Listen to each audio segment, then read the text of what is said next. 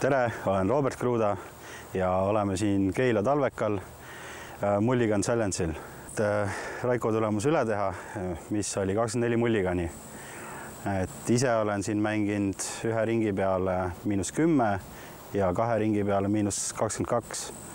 et äh, Metrixi reiting on üheksasada kaheksateist ja lähme vaatame, mis saab siis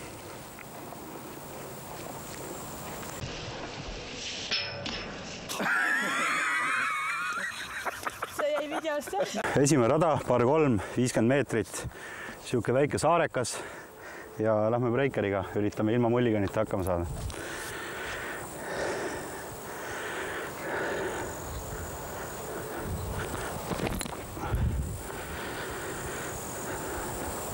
selle võiks võtta. null. oleme teise raja juures Keila talveka kõige raskem rada ja noh, üritame kahega läbi saada ja breiker.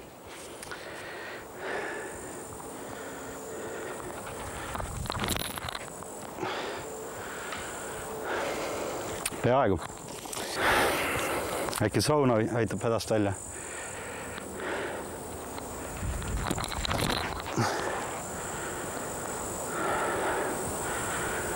võtame. mul on vahest niimoodi, et kui mul äh, kaks-kolm rada hakkab nagu võistlustel putt, putt ära minema, siis ma putin mingi kaks rada driveriga ja noh, tavalise driveriga ma saan sisse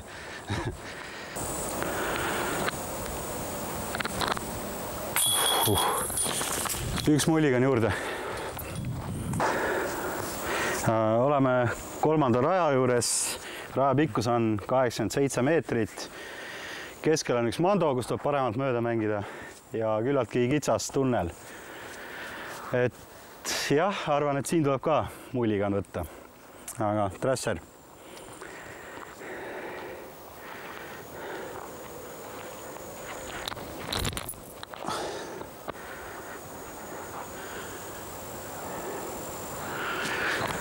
noh, peab igaks juhuks veel panema enda soditud Saint Pro.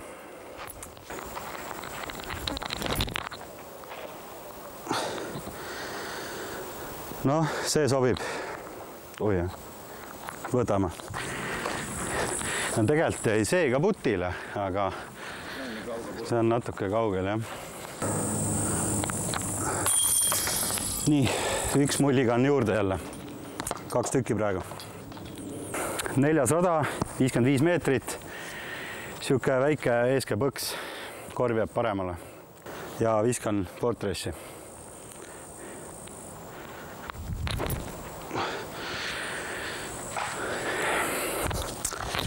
verdikt.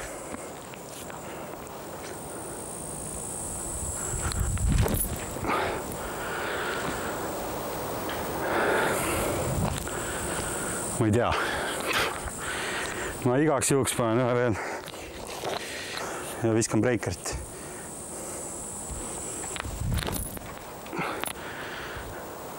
no see on kindlalt. võtan teise viske.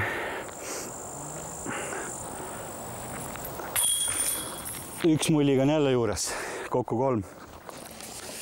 viies rada, Keila talveka minu lemmikrada, kuuskümmend viis meetrit. niisugust väikest ussiviset tahab ja viskan Fortressi.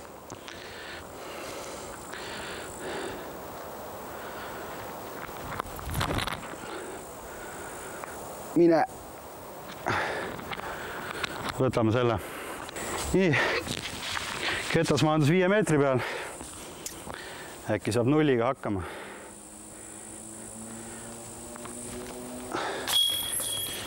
olemas. kuues rada viiskümmend seitse meetrit. sihuke hai, lihtne haiser vise ja viskan jälle Fortressi.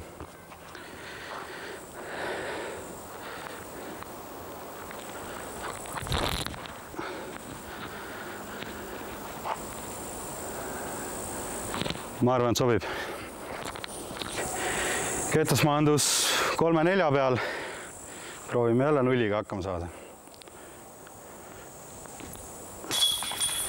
Olemas. seitsmes rada, viiskümmend üks meetrit. ta ei ole päris saarekas, ta on, ta on üt-, ütleme nii, et niisugune äh, poolsaar ja hasard on, on pikaks paremal ja vasakul ja viskan breikerit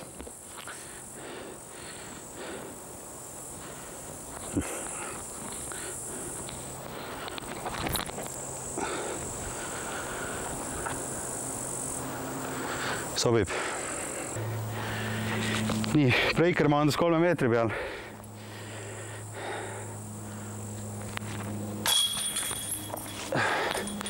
nii, hetkel on kokku kolm mulligani. kaheksas rada, viiskümmend neli meetrit, sihuke eeskätt põks ja viskan breikerit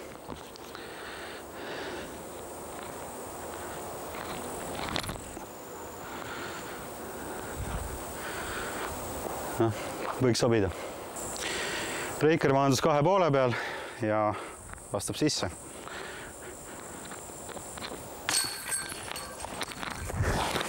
null. üheksas rada, kuuskümmend seitse meetrit ja no niisugune korv on otse, mina viskan Haiseris välja ja loodan, et Breiker läheb sirgeks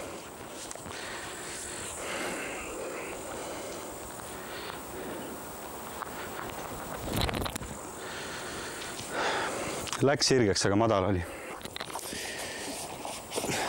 äkki aitab Stone asja.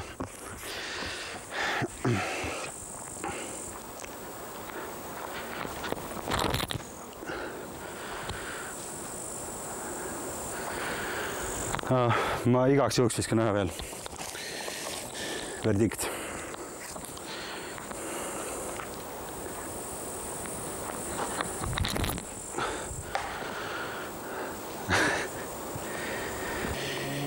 küll. Viskame Fortressi ka.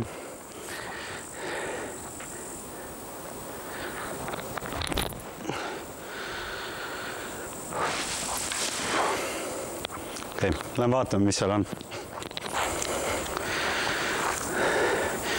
nii, valisin teise viske, niisugune kaksteist meetrit putt. äkki läheb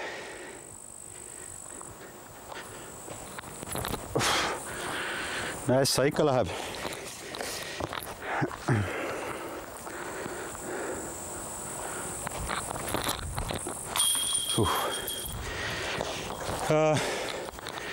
Nii, kümnes rada, kolmkümmend viis meetrit, Keila kõige lühem ja topeltmando on.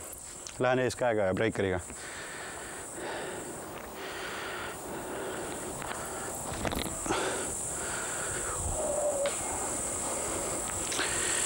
võtame selle. nii, jõudsin kuue meetri peale.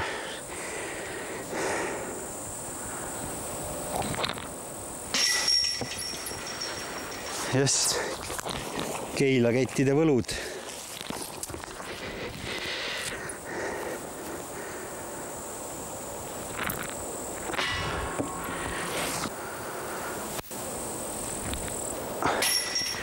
jäi sisse lõpuks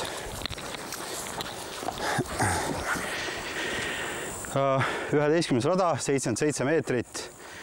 niisugune otsevise, natuke keerab vasakule ja viskan verdikti.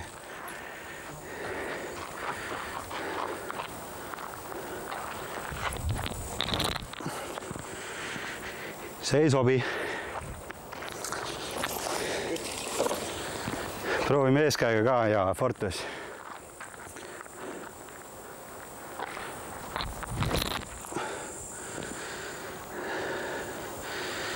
noh, see võiks sobida.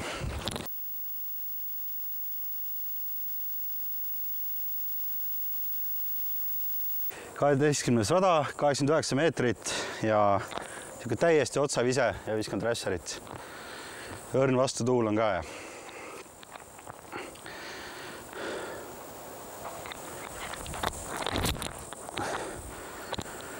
panin liiga peale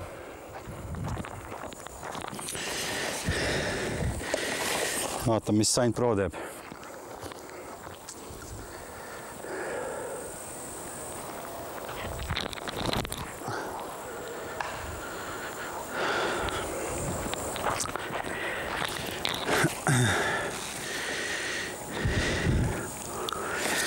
Okei okay., viskan ballistat ka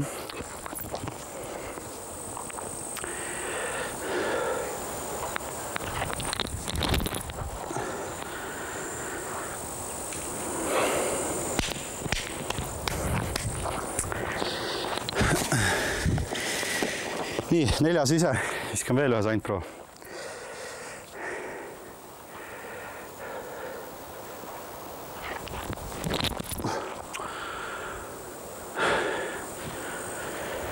Pro. kuumus tapab.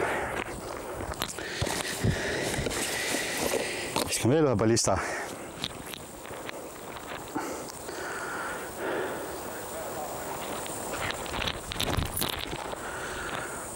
oi Jeesus okei okay,, proovime eeskäega siis Fortressi. kuues vise.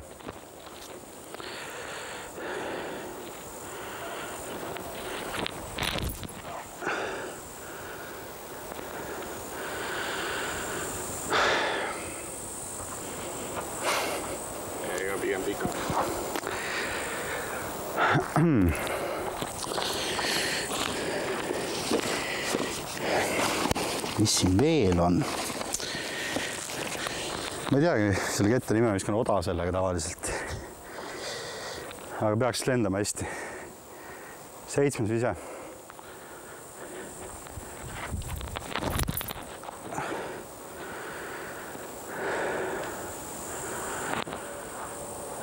Lähen proovin puttida siis. Okei okay.. üritame kuut ära päästa kümme meetrit. ja ässa.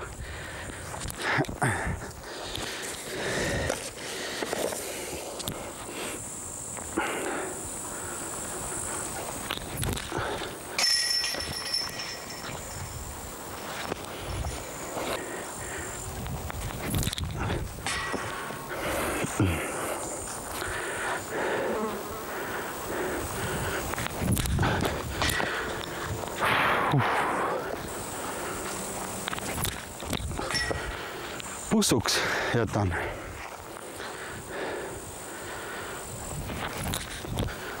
lõpuks. eelmine rada oli kohutav. nüüd tuleb lihtsalt nulliga lõpuni panna ja kolmeteistkümnes rada, kuuskümmend kaheksa meetrit ja viskan breikerit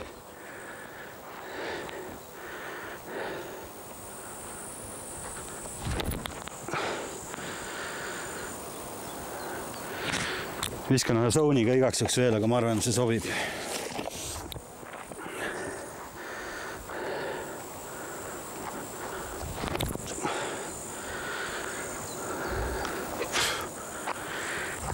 no siis viskan verdikti ka.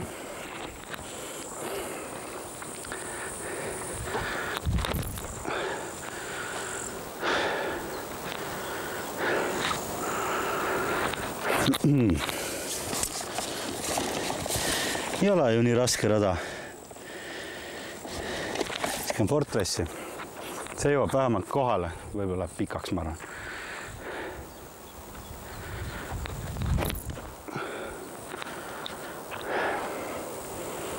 noh, lähme vaatame, mis saab. sain jälle kümne peale. äkki nüüd läheb paremini natuke.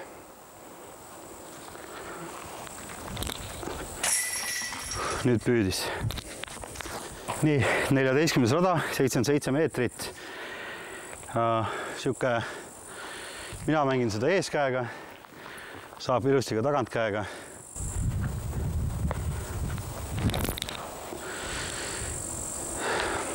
ja tuleb uus võtta. viskame verdikti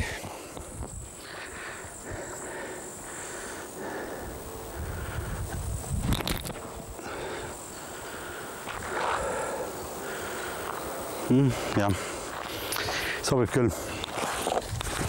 nii teine vise ma maandus kuskil seitsme peal. ja noh, vast saab hakkama uh.. üks juurde, kokku kakskümmend üks, äh, rada viisteist, viiskümmend kolm meetrit, topelt mando. ja sihuke väike haiservise ja viskan Fortressiga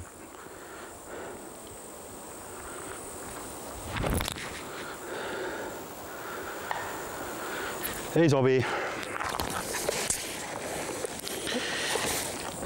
viskan breikerit ka.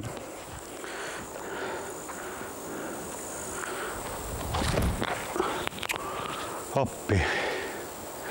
okei okay., võtame ühe kangema driveriga, ballistaga.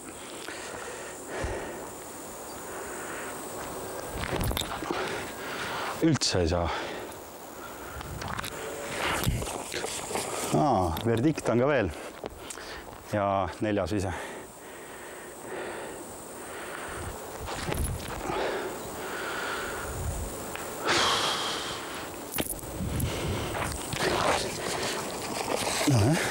Zone.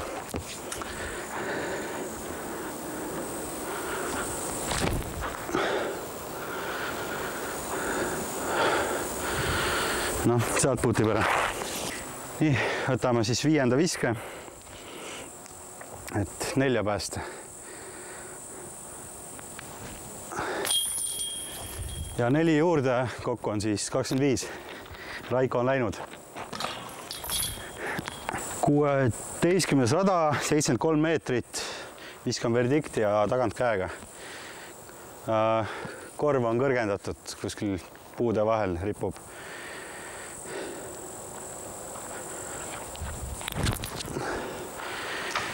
see oli väga halb.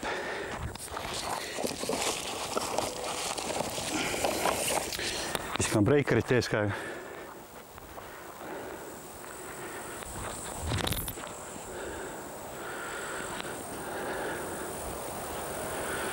ma arvan, see on pikk, aga saab puttidagi natuke. mul on siin päris huvitav vaade natukene. kuna mul ei ole niisugust otseputti, siis ma pean Anheuser puti panema, mida ma eriti ei oska. aga loodame, et saab hakkama.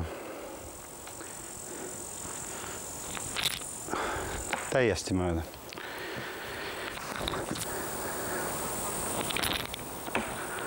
appi.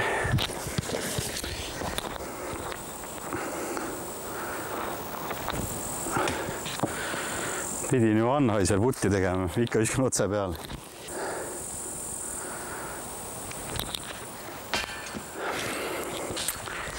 nii, ma tean, breiker läheb sisse.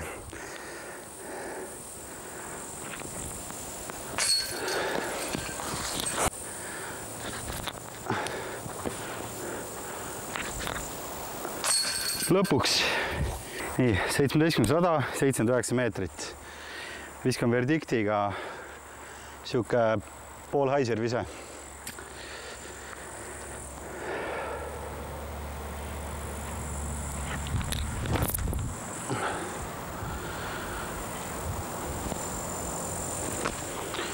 võtame sellesama, seal on küll raske putt, aga ongi huvitavam.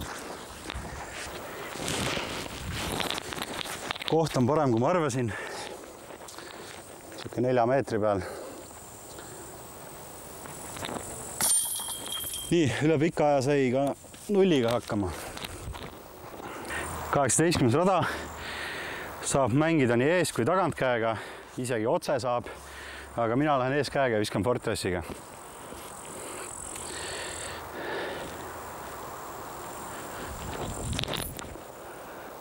liiga kõrgele. aga lähme putime. nii, maandusin kuhugi seitsme peale. ja paneme ära siis.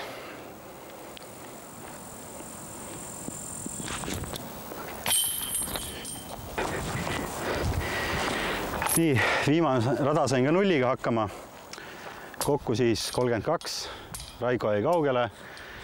ma ei tea, äkki Wernerile tegin ära kuidagi et äh, ilm oli, noh, kui millestki ei oska rääkida, ikka räägitakse ilmast, aga ilm oli väga hea, väga kuum äh,. mäng oli tegelikult hea, arvestades kaks, kaks rada, kus ma võtsingi äkki kakskümmend mulligani kokku peaaegu et äh, aitäh vaatamast ja järgmise harrastajani siis.